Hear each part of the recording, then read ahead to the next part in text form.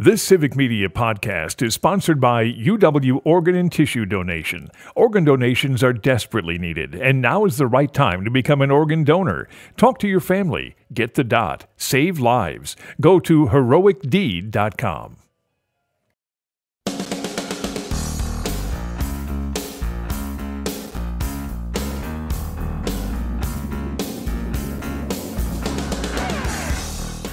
across Wisconsin from Civic Media. This is Up North News Radio. Now, live from our Lake Wissota studio, here's the founding editor of Up North News, Pat Kreitlow. Well, hey there, Wisconsin. Good morning. It's 6.06 on this Thursday morning, October 24th, 2024. 12 days now until Election Day. Another beautiful but cold morning to have here up north, live from Lake Wissota, from wherever you're listening across the Civic Media Radio Network. Uh, you might be listening through the app, maybe by podcast, maybe you're watching us on Facebook or YouTube. But anyway, thanks for starting your day right here.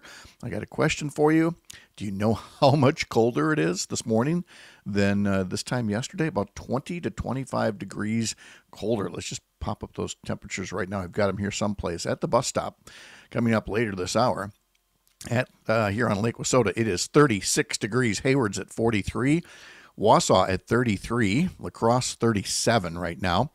In Wisconsin Rapids, it's 28 degrees. Uh, Amery 43, Green Bay 32, Madison 32, Waukesha 30. And uh, in Milwaukee's Radio Park, it's 38 degrees in Racine, where we find one Greg Bach standing by as well. Still in that t shirt, though. So, I mean, we're not seeing the turtleneck, you know, and the, the, the fleece vest and, and everything else. So it, it's not it's not frigid yet down by Greg Bach. No, it's not. It's it's crisp. Chris, it's refreshing as Alicia writes in, yes, with three different frozen emoji faces Is on YouTube. Being a fan of the cold, I just don't I- I understand think- that. Yes, she's welcoming fall, y'all. Oh, exactly. Oh, love that. Yeah. Uh, so it's it's a little chilly out there. Do we say this just as a public service for the kiddies? Please bundle up the kids before they head out to the bus stop. Uh, you can reach the show, of course, today at 855 75 Civic, 855 752 4842, or you can leave us a comment, as Alicia did, on the Up North News YouTube page, the Up North News Facebook page, or the Civic Media Facebook page. Uh, coming up this morning, we are going to be talking about the surprise endorsement of Vice President Kamala Harris by a mayor in one of the nation's best known Republican strongholds. That, of course, would be crucial Waukesha County. We're also joined by State Representative Steve Doyle, who's running for reelection in the La Crosse area, and Luann Bird, an assembly candidate in the Milwaukee area. Uh, she'll be our guest on our Women Who in Wisconsin segment powered by Motherhood for Good. Uh, Joe is off this week, so we'll be joined at the bottom of this hour by Major General Randy Manner, part of the group National Security Leaders for America.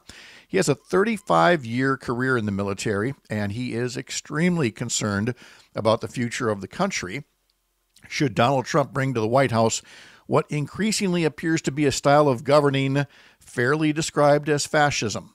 And it's one thing for, I think I, I want to give proper credit here. Pete Buttigieg uh, said this yesterday. It's one thing for some left wing group to refer to you as potentially fascist. It's another thing for a Republican to say of Donald Trump, uh, this guy might be fascist. It's another thing when it's your own chief of staff. When your own chief of staff and your top military leaders say, this guy is fascist to the core, well, General Manner uh, walks us through the definition of it, and uh, we, we kind of check off the boxes and see if this is what we might be dealing with, given Donald Trump's increasingly erratic, unstable rhetoric uh, laced throughout with uh, you know violence and is that something that we want? Clearly, these hundreds of former national security officers don't think so. And neither does the mayor of Waukesha. We're going to talk about that in just a second. But first, I want to talk about the uh, first day of in person absentee voting. Um, that was, it was a little bit popular. On the first day of absentee voting, nearly 100,000 people in the state cast ballots, uh, including some very long waits. You know, this was on Tuesday, and then the numbers came out yesterday. And the Wisconsin Elections Commission said the actual number was 97,436. That is up substantially. Uh, so, again, about 97,000 people. Compare that to about 80,000 people who cast ballots on the opening day four years ago. However, again, due to the COVID 19 pandemic that year, in person voting numbers were down while absentee voting by mail was higher. Now, as of Wednesday, again, for numbers reported yesterday, the number of absentee ballots uh, that have been returned so far total by mail and in person 475,000 people in Wisconsin have already voted. Uh, it's less less than half of the more than one million that had been returned by this point four years ago. But again, that just tells you how many people mailed ballots during uh, the COVID pandemic and mailed them early. Uh, just by way of reference, there are a little more than three and a half million registered voters in Wisconsin, although it is worth noting that Wisconsin is one of those states where you can register on election day. So uh, nobody can tell you what the final number will be in term of, terms of registered voters in the state.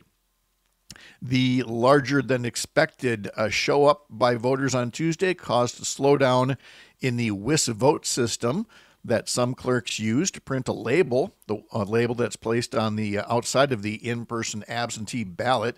Uh, but that just means staff worked a little harder to increase the system capacity, and clerks are able to write that information on the envelope as well. And so many of them just went ahead and did that. Uh, Ann Jacobs, the uh, Democratic chair of the Wisconsin Elections Commission, said the large turnout is, you know, quote, a terrific problem because it's a good thing when lots of people come out. She said the system slowed, but it never went all the way down. We're pretty confident that it won't happen again. The Dane County Clerk Scott McDonell said uh, he wasn't surprised by the high level of first day voters, given that it happened in plenty of other states uh, already this year. And of course, you've got Wisconsin's status as you know one of the battleground states that's out there. And so consequently, you you have in an election as contentious as one we've ever seen, and yet is still close in states like Wisconsin. You have some rather surprising endorsements. Well, at least they would be surprising, you know, somebody supporting the Democratic nominee prior to Donald Trump coming on the scene. But the decision by Shawn Reilly, the mayor of Waukesha, to support Vice President Kamala Harris. I saw it first reported by Fox 6 in Milwaukee. Uh, and then a moment later was surprised to see the New York Times led its political section with a, a picture of Mayor Reilly and an interview, and the headline A Wisconsin mayor, a former Republican, endorses Kamala Harris. And uh, Reilly had, had said, you know, that he left the Republican Party after the January 6th insurrection. And so he, he described to the Times his own evolution from loyal Republican to, you know, an independent to now somebody who is supporting uh, a Democratic mayor. The, the mayor, by the way, that's a nonpartisan role. Uh, but when asked when he was running for mayor if he's a Republican, he, he had always answered yes. Uh, when Trump first ran in 2016, Reilly said he did not vote for Trump, but that he also did not vote for Hillary Clinton either. And it was after the in- insurrection that uh, Reilly disavowed the Republican Party and said he was no longer a member. He attended the rally in Waukesha County on Monday where Vice President Harris appeared with former Republican Congresswoman Liz Cheney of Wyoming. And then on Tuesday, uh, the New York Times article says early voting began, and from his perch in City Hall in Waukesha, Mayor Reilly could see a line of voters snaking down the sidewalk. About 800 people were voting in person each day, he said.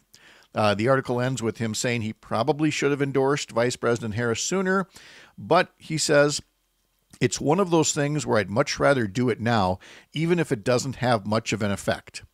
Uh, Mayor, it's going to have an effect. And it's going to have an effect, uh, Greg, in, in places just like Waukesha County, where a handful of votes count. And there are indeed people in Waukesha who are hearing that news for the first time and were either on the fence, weren't going to vote, going to vote third party, and are saying, nope, I, think this might be the tipping point for them. I think that you know we're seeing that a lot in what's called the WOW counties, Waukesha, Ozaukee, and Washington. And for a moment, I just want to say I'm really proud of Mayor Reilly. We've spoken to him on Matt and Aaron, Aaron. He was always he's never talked politics. He's always talked Waukesha and the great things about it. But everyone who knows Wisconsin knows how conservative we believed Waukesha County to be. And while I, I I agree with you, I think it's going to make a big difference because even if Kamala Harris is to lose Waukesha County, which is you know you know let's be honest, it's Waukesha County. If she still has a strong outpouring of support out of there, that says something about that county itself, and it makes me very proud to see people standing up you know, throwing off those shackles of like, we got to support the guy who's our party. No, this guy is, he wants to be a fascist. He is yeah. a terrible human. And so to see Mayor Reilly and many others say, nope, we, we want to vote for democracy, this makes me so, so proud of Waukesha. Mm-hmm. And uh, Alicia Saunders writes in from Northeast Wisconsin The journey from Republican to Democrat is not uncommon. I was a Republican, she writes on YouTube. The last Republican I voted for president was McCain, and Scott Walker was one of the reasons I went to the left. And Scott Walker had that polarizing effect as well. I mean, yeah, if you're if you're a far right person by nature, uh, Scott Walker was, I mean, he was he was all that in a bag of chips, as the kids say. the kids still say that now, right? Of course they do. Um, His polarizing was adorable back then. Now it's like, yep. now it's uh, yeah. yeah, it's almost quaint. But yeah. th- this is what you are seeing, and you will hear more about this from uh, General Manner in just a little bit. And, and that's just part of this day's lineup. Is is really something. Uh, coming up on the Earl Ingram Show, which follows this program on many civic media stations, you've got Governor Tony Evers uh, today. You've got Dwayne Schakowsky, an assembly candidate in the Neenah area. At uh, on the Chad Holmes show that you'll hear up uh, uh, in the Wausau area or on the Civic Media app at 8:30. There's Josh Earnest, the uh, former press secretary to Barack Obama. Then, uh, as uh, you know, Greg has alluded, there's this little program called Matenaer on Air, and uh, Jane and Greg today have former UN ambassador Susan Rice coming up at 10:30. Not a bad get out of you. Not at all. And uh, Todd Allbaugh at 12:30 has former Republican Congressman Reid Ribble. And on the Maggie Dawn show, uh, Dr. Kristin Lyerly, who's running in the 8th Congressional District, will join the show at about 3.30. So a very busy day uh, across Civic Media. And again, you can uh, tune in through the Civic Media app and listen to, you know, all, all the different stations, catch all the different guests along the way uh, as well. And of course, uh, you can also get Dan Shafer's 2024 voting guide and more election news at civicmedia.us. And you can check out the Up North News voting guide at upnorthnewswi.com. Wherever you're listening around Wisconsin on this beautiful Thursday morning, when you're here, you're up north on the Civic Media Radio Network.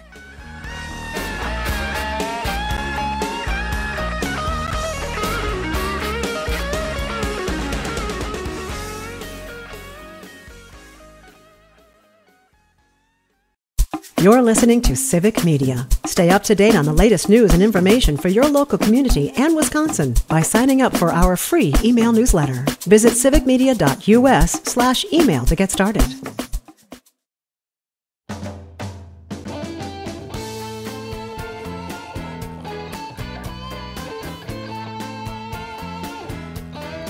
We have a, a different kind of theme going with the bumper music today because part of our history lesson in a half hour is going to discuss songs that stayed at number one on the charts for 10 weeks in a row or longer.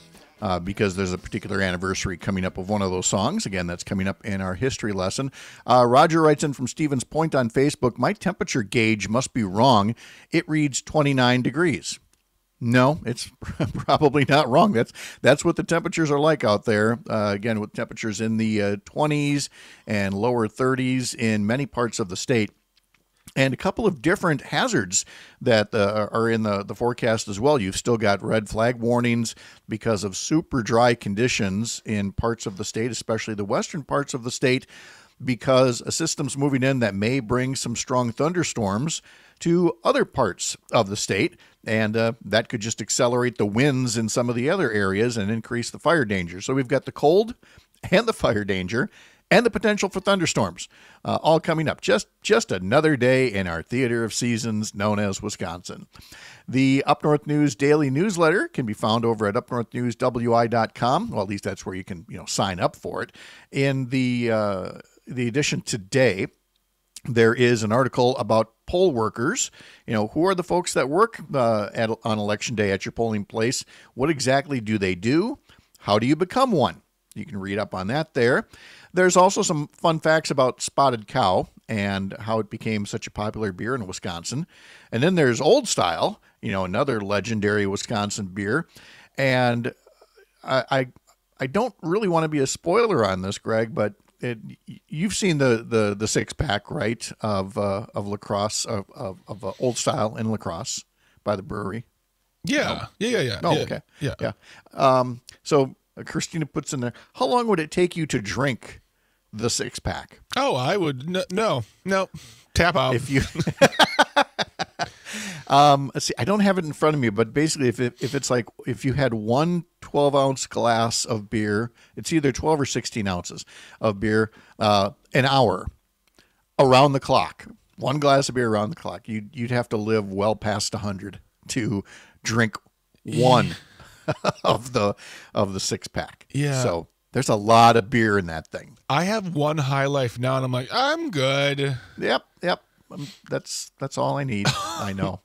I know. I, I when I think of um, and I, again, I don't know how beer is different now than it was when I was growing up, but if there's one, if there's there's different sounds of your childhood, and one of them to me is the clanking of bottles, because before you had the way that 12 and 24 packs of beer look today. The, the 24 packs of my youth were all in those brown bottles, you know, like you saw in Laverne and Shirley, Yeah. you know, going by on the conveyor belt. And they were put in these very thick cardboard crates. Yeah. And so that when you're walking with the crate, you hear the bottles all jingling back and forth. And that was like that just said, "Oh, it's Friday." Somebody hit the hit the liquor, the West Seventh Liquor Store in St. Paul and is coming back with some uh, some Schmidt or some grain belt or s- some Hamm's. Oh, I love hams from the from the land of sky blue waters. Waters. Yes, exactly. and one more article in the uh, newsletter today. First time voters from Gen Z. We've got a writer in there talking about how important it is for young voters to show up. So uh, get all that and more in our newsletter, upnorthnewswi.com is where you subscribe to that. Uh, let's see, it's Thursday, so we get another VIP visit. Second, second gentleman, Doug Emhoff, will be in Kenosha to rally early voters today. He will be joined by Maryland Governor Wes Moore and Vice President Harris's brother in law, Tony West. Uh, let's check a little sports here. We're a little behind the clock, but that's that's okay. The Milwaukee Bucks season opened up last night, opened up in Philly. Dame Lillard scored 30 points. Uh, Giannis Antetokounmpo added 25, and the Bucks defeated the Philadelphia 76ers 124 to 109 in the season opener for both teams last night. Milwaukee got double-figure scoring from six different players. Uh, the Bucks will have their home opener coming up tomorrow night against the Chicago Bulls. The Green Bay Packers are getting set for their game uh, this weekend in Jacksonville. That's a noon start, pregame at 10 o'clock on civic media stations in Racine, Kenosha, Richland Center, and in Park Falls. The Badgers take on a nationally ranked opponent, third-ranked Penn State. The uh, game's at 6:30 pregame at 4:30 on civic media stations in Amery, Wisconsin Rapids, Racine, Kenosha, and Richland Center. The UW Badger men's hockey team, you can hear their game Friday at Denver University starting at 7:30 on WFHR in Wisconsin Rapids and I mean that is just a, a start. There's also so much more high school sports covered by Chad Holmes and so many other folks. Check the Civic Media app or civicmedia.us for more details there.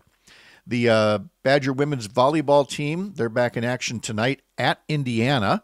And then uh, Saturday afternoon, they are at 10th ranked Purdue. The Badger women's hockey team will host Bemidji State tonight and tomorrow night. So they're your little cut up on sports there. There are only a couple of episodes left of the weekly video podcast series from Courier Newsroom called Closing Strong. Tara McGowan and Simon Rosenberg are joined by strategists, elected officials, reporters, and advocates talking about the importance of closing strong. The name of that video podcast that you can find on YouTube. Uh, go to the Courier HQ page, Courier HQ on YouTube, to get all of the details. Uh, looking at some of the things that have come in, uh, including uh, a note from Tammy Baldwin's office. Uh, and this is another case where federal funds are going to be coming to Wisconsin in part through the efforts of Senator Baldwin.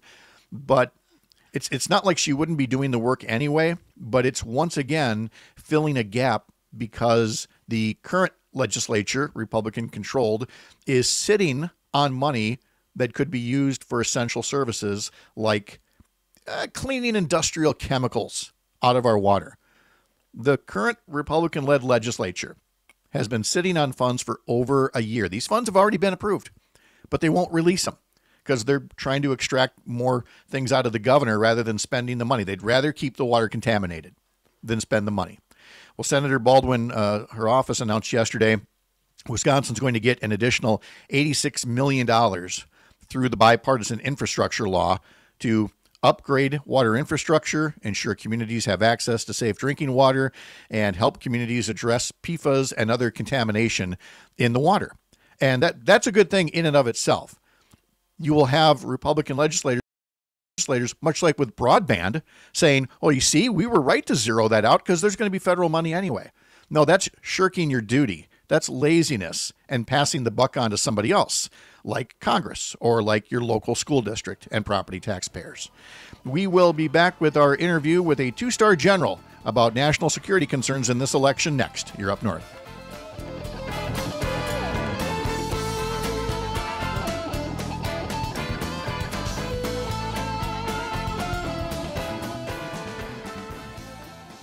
You're an organ donor, right? Well, here's a tragic fact. Approximately 20 people die each day waiting for precious donated organs. You could make a life saving decision simply by getting that important dot on your driver's license. That little dot shows those who need to know that you've made a decision to donate organs at a critical time. Go to heroicdeed.com to learn more about the importance of organ donation and how you can make your wishes known. Talk to your family. Get the dot. Save lives heroicdeed.com.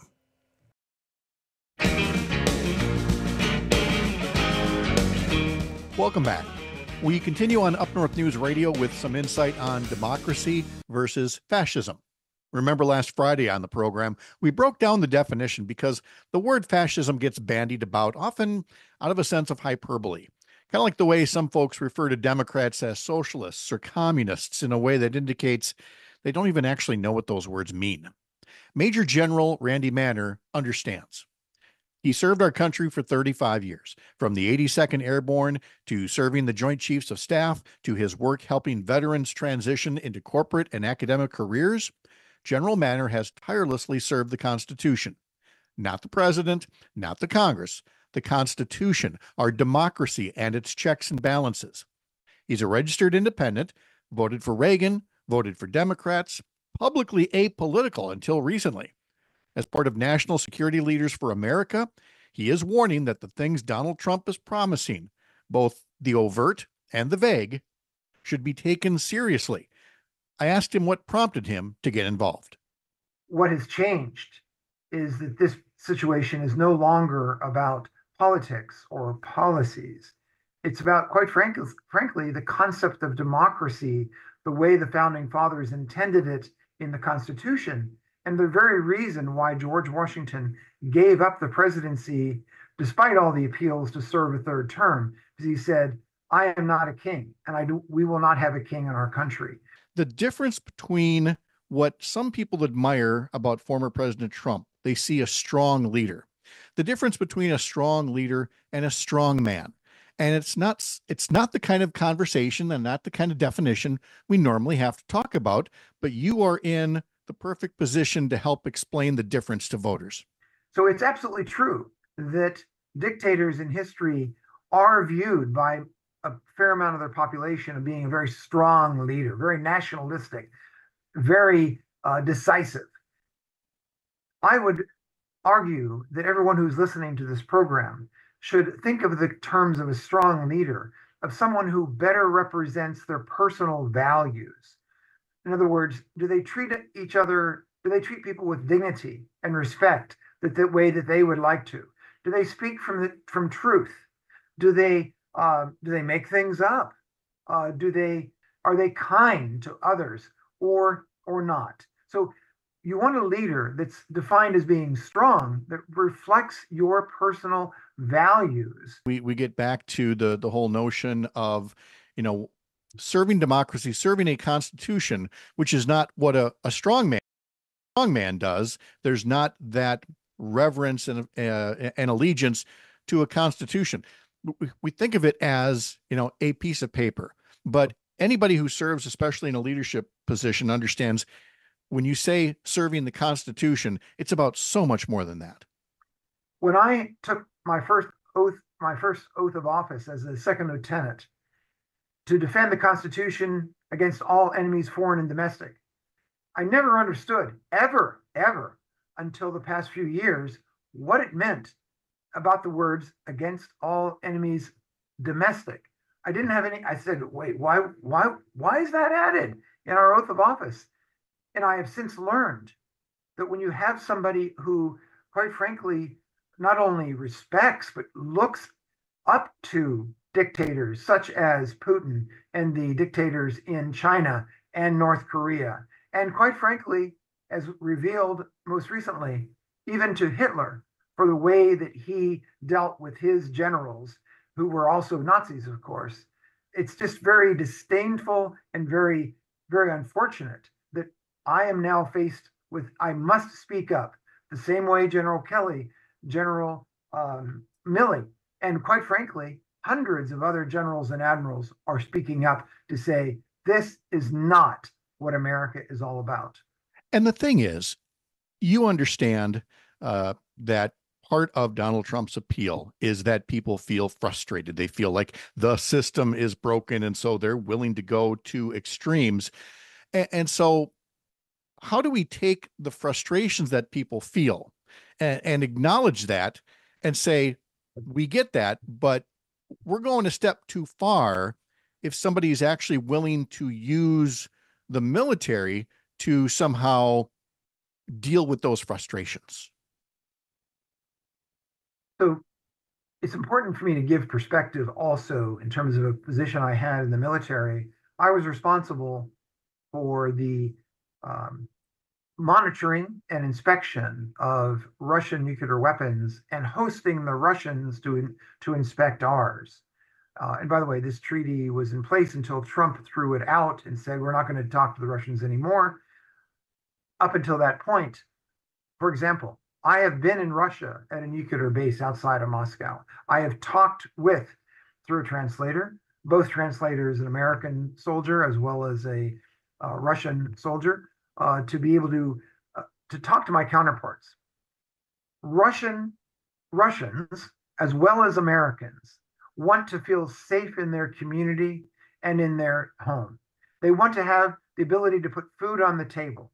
They want to have uh, their their children safe in school and getting a better education than they had.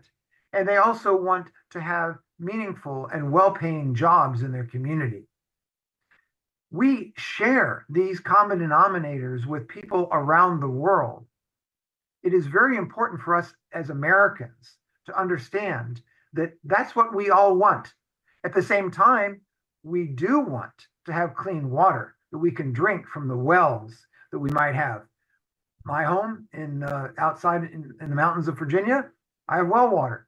It's very important to me that that is going to be uh, drinkable same thing across our country. We don't want to destroy our land for for cattle, for crops, and we also don't want it to go too far. That is something that we need to keep in mind that from a from a military point of view as well, by the way, veterans and military members, we want the same things that we, we reflect America. We come from all walks of life. We would want that but we also see the the potential for a Trump presidency, which leads me to this question. Uh, I, I, I would put myself at the very tail end of people old enough to remember the Saturday Night Massacre during Watergate, when Richard Nixon uh, couldn't find somebody to uh, uh, carry out his order. He'd fire him and find the next guy, and then he found the next guy, which turned out to be Robert Bork. How, how real is the concern that once uh, uh, somebody like a Donald Trump gets into office, without the guardrails that we keep talking about from his first term, that you'll see something similar, or at least an attempt to do something similar with our armed forces. So I want you to, I want you and all of your listeners to understand that when the Supreme Court took away the guardrails and said that the President of the United States, quite frankly, can do anything he or she wants to do. I mean, first of all, I'm shocked about that as an American. I don't know what the legal basis for that is. But here's the important thing I want to remind everybody about. He absolutely is capable of using the National Guard as his police, as his personal police force. And he absolutely, people forget that when you are promoted as an officer in our military, it's the President of the United States that selects you for promotion. I say again, the President of the United States. The President does not want you to be nominated to the next level he or she will not do it. It is it's the Senate that confirms your uh, your your new rank for promotion. So could Trump literally fire everyone until he gets to someone who says yes, like Nixon did? Absolutely, positively. He will not make that mistake again when he had Mark Esper, who, by the way, served in my own National Guard unit years ago, and I worked with General Milley in the Pentagon. If we didn't have such strong willed personalities in the Department of Defense, he could have and will fire people until he gets to people who will say yes. And then he'll say, by the way, he might say, hey, boss, hey, Mr. President, what you're telling me to do is illegal. He says, don't worry about it because I'm going to pardon you and don't worry about it. And by the way, that's all 100% feasible. Now, I want to also say something that's, I think, very, very important. In that interview that was done by General Kelly, remember, we're talking a Marine Corps general, a conservative Republican, by the way, selected, hand selected as the chief of staff by President Trump, who said most recently, you know what? I hate to say this, but the president, he didn't say, I hate to say this. He's, he said, the president is, is fascist. And for 98% of Americans are going, oh my God, what is what's that all about? That's name calling. So here's my challenge that I want to offer to everyone listening here.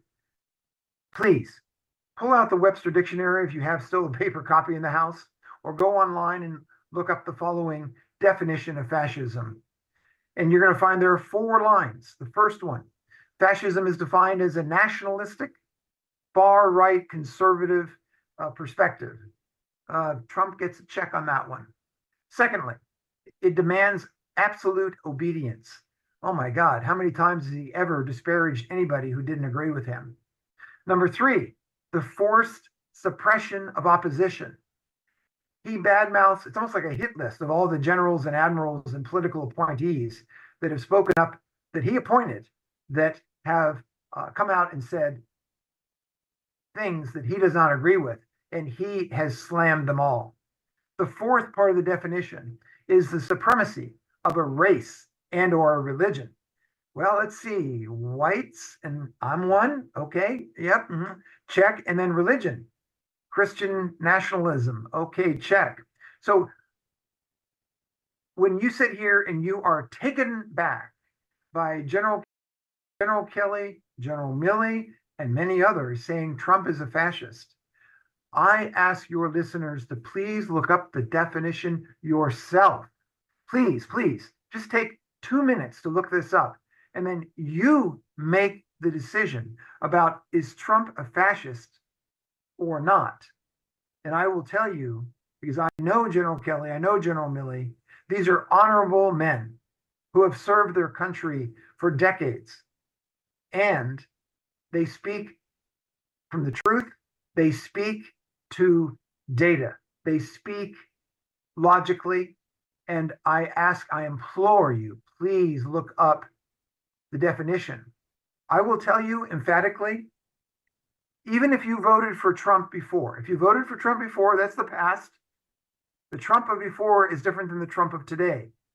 I would challenge you to put country over party, like General Kelly has done. Put country over party. And even if you can't stand it, hold your nose and you got to vote for Vice President Harris rather than, by definition, not my name calling, by definition, that Trump is a fascist and a vote for Trump is a strong vote for fascism. This is not name calling. You make the call yourself. And we close by saying this is the, the same Donald Trump. Folks will recall in late July, we we laughed about it at the time, but uh, in remarks, uh, Trump said that he might fire all the generals and replace them with NASCAR race car owners and head football coaches because he said they would do a better job than the generals. And it made people chuckle, but the, the more he talks about these kinds of things, the less funny it is. It's not funny at all. Uh, I'm not trying to scare your listeners. I am trying to be practical. Uh, I am part of a thousand person organization called the National Security Leaders for America that is bipartisan. Uh, it's Democrats, independents. I'm an independent, and Republicans. Bottom line up front, uh, I encourage all your listeners to think about this hard. Do you want a leader that you can say to your children and your grandchildren, I voted for fascism and for an absolute ruler dictator called Trump? Or did I not vote for him? And instead, perhaps for the first time in your life, to consider voting for someone who is not a fascist just this one time. Just this one time could make all the difference. Major General Randy Manner, General, thank you so much for your time again and for your service. It was a pleasure to talk to you today. Thank you, sir. You can learn more about National Security Leaders for America at their website, nsl, the number 4a dot org. Back with more after this. You're up north from Lake Wissota on the Civic Media Radio Network.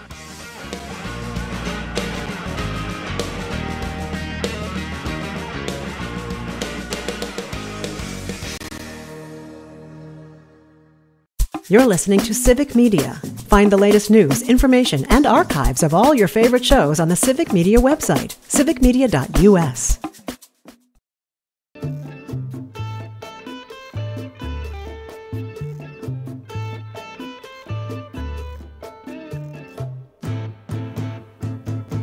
Number one song this day in 1970 by Santana. It was Santana landing their first number one album in America. Abraxas claimed the top spot, including uh, this little ditty. Can't get this one out of your head. They also did a uh, Fleetwood Mac cover of Black Magic Woman. We've got an interesting theme in today's history lesson about uh, songs that have a, a long run of popularity and actually have to amend it to include a, a song that's on the charts this week. So I'll have that in just a second. Uh, also, in today's history lesson, this is Black Thursday, the day in 1929 when the New York Stock Exchange first plummeted in a way that ushered in the Great Depression. Happy 88th birthday to Bill Wyman, bass player, well, past bass player for the Rolling Stones. So between him and Keith Richards, what what are we talking about here in terms of healthy lifestyles? Seriously. Happy 88th birthday to Bill Wyman. Happy 42nd birthday to his wife. well, okay, maybe maybe that's the key. I Yeah. don't know. You know. Uh, let's see another birthday today. Drake, the uh, Canadian rapper and actor, is 38 years old today. Uh, all right, here's let's let's talk for a bit about uh, longevity on the charts. And here was the number one song this day in 1992 by Boyz II Men.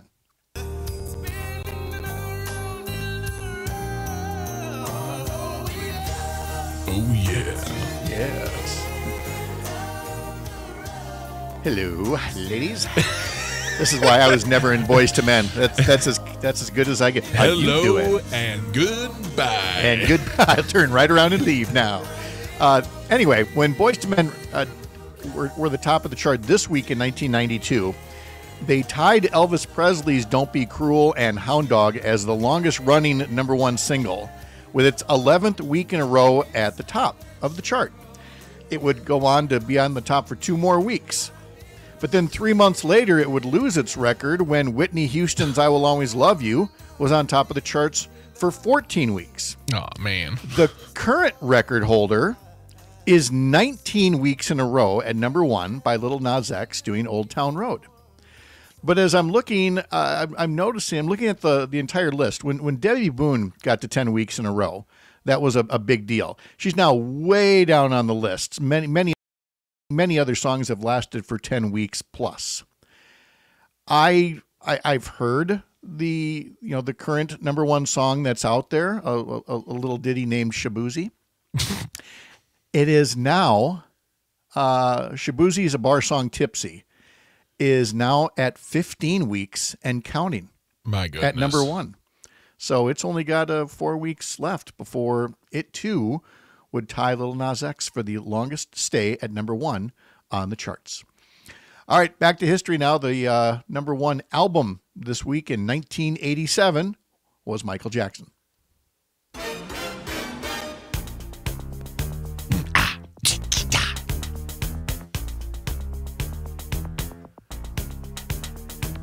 This, of course, would be the uh, title track to Michael Jackson's Bad, number one album this week in 1987. Uh, this week in 2000, uh, Lenny Kravitz released his greatest hits album. It peaked at number two, uh, and it marked his highest entry on the album chart. It also featured the track Again, which earned him his third consecutive Grammy for Best Male Rock Vocal Performance. On this week in 2000, Linkin Park released their debut album, Hybrid Theory, bolstered by this hit.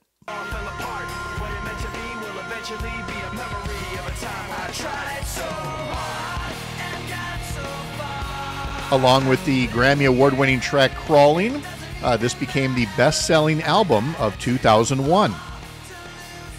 So let's see, the past couple of days we've talked about uh, some of the, the more recent albums by Taylor Swift. Yeah. Well, it was on this day. When, when did it all kind of begin? It actually began this day in 2006 when Taylor Swift released her self titled debut album, a collection of country pop tunes that she wrote during her freshman year of high school, including this top 20 hit. Summer gone,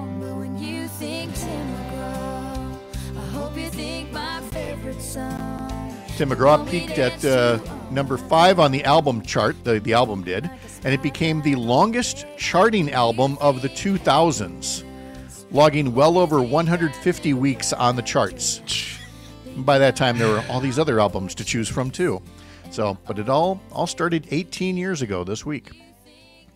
This is National Baloney Day.